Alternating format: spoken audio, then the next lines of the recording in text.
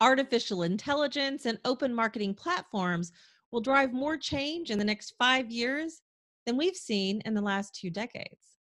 I'm Tonya Hall, and joining me is Mark Simpson, CEO at Acoustic. Welcome, Mark. Hi, thank you, Tonya.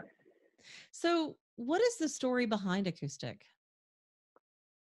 Um, so, Acoustic is a carve out from IBM Watson Marketing um, in that we have um, taken the future looking marketing products um, from the IBM marketing portfolio um, and um, we are taking them forward with the people who supported those products um, into a new standalone business, a standalone business backed by private equity firm Centerbridge, um, but a business that is solely focused now on the marketer. Um, we believe there's a significant gap in the marketplace in uh, um, in a company that is focused on the marketing professional alone, um, and uh, that is has a sole purpose of improving the lives of marketers, unleashing their brilliance, um, as we're calling it. But so Acoustic is a new company, but you're launching with a, a big head start head in headcount, clients and and geographic presence. So talk about that. Yes, we are a global company. Um, we um, operate globally through US, um, Asia Pacific, Europe. Um, you have clients all, all around the world. Um, we have just over 1,100 people um, in the business, so it's a large startup. and we have about 3,500 clients that we support on, on a day to day basis. So we're at a, a nice point in terms of um, you know, we have a good size to scale, uh, particularly you know for enterprises and on a global basis. But we are now nimble enough to um, adjust to market needs as, as, they come up. The market is changing massively at the moment. I think we're in a pivot point um, in marketing where I believe the next five years is going to change more than the last 25 years. Um, and I think there are technologies like AI that's really pushing that change forward. Um, and we are in a great point now with our size and, and where we are as a business to be able to respond to that change. So you mentioned AI and artificial intelligence. What what tools in the marketing toolbox are about to be disrupted by artificial intelligence?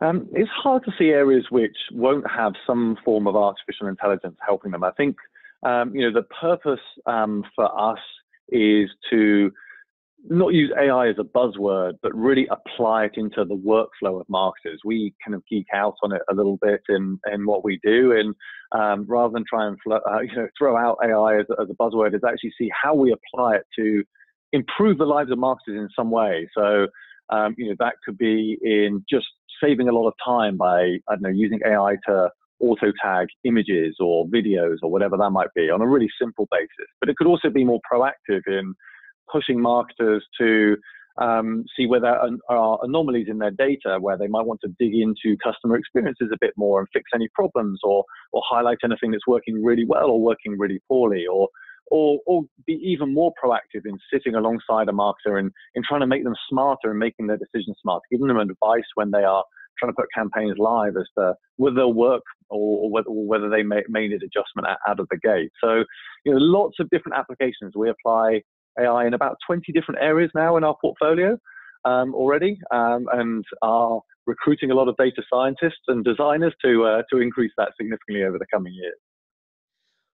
What competitive advantage does IBM's Watson offer that your competitors can't match? Um, well, we we while we have completely separated from IBM as, as, as, a, as a business, we are our own standalone company. We still do partner with with Watson, um, and we've been using Watson for years. And, and really, the competitive advantage we've had with that is Watson's had billions and billions of investment over a very very long period of time. It's one of the first and deepest and richest um, sort of AI capabilities out there. Um, and while in IBM, we've had a very good early advantage in being able to partner with Watson internally and uh, apply Watson's AI capabilities into our marketing portfolio to benefit the marketer. Um, now that we are breaking out and now that we are, are, a standalone company, we still use Watson's APIs, and that, that will that will continue um, for the foreseeable future. Um, we also have our own AI capabilities that we've developed over the years, um, internally within IBM and, and, now externally as Acoustic. Um, and we will also look to partner with other AI as well where, where relevant. There are a few sort of more niche AI uh, capabilities that are really applicable in, in marketing, I believe. And uh, um, we want to, you know, have a look at those in a bit more depth and see uh, and see what, what we can do to, to benefit the marketer. So um, it's an area we're going to double down on. It's an area we're investing a lot in our own data scientists, but we're not going to have we're not going to name our AI as a separate sort of uh, thing. We're not going to uh, think of some genius to uh, to to donate the name to our AI. It's just going to be really embedded in the platform itself into the, into the marketer's workflows. ZDNet's Stephanie Condon recently wrote that you will be expanding your open market ecosystem. Describe that. Yeah, so um, for um, about three, four years now, we have been building out um, what is now called Acoustic Exchange. And um, that is really designed to um, connect the marketer's landscape together. So we know that a marketer will use uh, dozens or more vendors um, to achieve all the different types of marketing that, that they want to do.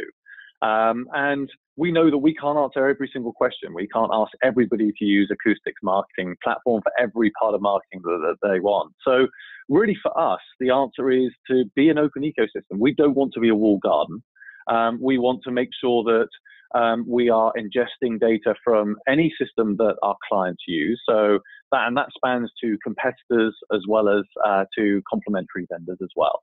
Um, so that um, uh, so that marketers can join their data together. The real purpose of that, though, is we want to allow marketers to give a consistent and personalized experience. And it's that consistency that's really missing if you don't have an open ecosystem or don't have some system that is joining uh, your customer data together because you need that consistency across, you know, ad tech, martech, um, social media, you know, all, all, the different elements that, that, that get that get touched on, and and that's what we're really enabling with Acoustic Exchange. In an era of phishing emails, spoofed websites, robot telemarketing, and spam SMS messages, what should CMOs consider when prospecting for new clients? How can they work around the very valid suspicion that individuals have developed regarding unsolicited contact? Yeah, and I mean, look, there's um, there's a range of different things I, I, I think there. I think that CMOs um, need to be providing that um, uh, personalized experience that resonates with customers. So it doesn't just look like sort of a spam or, or what have you. Uh, that, that's that's obviously key, and that's been spoken about for 15 or, or, or more years um, in how to deliver a, a personalized experience. But um, the reason we named ourselves Acoustic was we want our customers to resonate. We want that intimate experience between our, our clients and their customers. And we want to, them to be heard. We want them to resonate with, uh, uh, with, their, with their end customer. So that is really what, what we're about. I think, Tonya, as well, when you layer on complexities on top of that in regulation around data, um, which we're really at a very early point of with GDPR and, and in California and um, you know some murmurings in Australia and, and, the like as well. But if every country takes a different approach to regulation or every state takes a different approach to, to regulation, we're really in a very complex world. So we're actually going to invest a lot in being able to manage customer data for our clients. Um, you know, at the moment, in all the marketing clouds, it's really a, a reaction. It's a bolt-on afterthought. But if you think about how complex this world can get, we are investing $20 million now in re-architecting our platforms for that customer data management at the core of it, because we feel in a few years' time that it can only be a lot more complex than it's going to be now. Mark Simpson, CEO at Acoustic. If somebody wants to connect with you, maybe they want to find out more of your advice on how to handle this in the future, how can they do that? Um, yeah, there's a there's a range of different ways. We um, we have uh, a website, acoustic.co, um, or um, I can be reached um, particularly on social media, on Twitter, um, on LinkedIn. we have at Go Acoustic as a as a handle for, for anyone who wants to reach out with with myself or, or the business. I'm happy to hear from uh, anyone uh, that's listening today. Thanks you again so much, Mark, and good luck with your new adventure. And if you guys want to find more of my interviews, you can do that right here or go to tonyahall.net. Thanks for watching.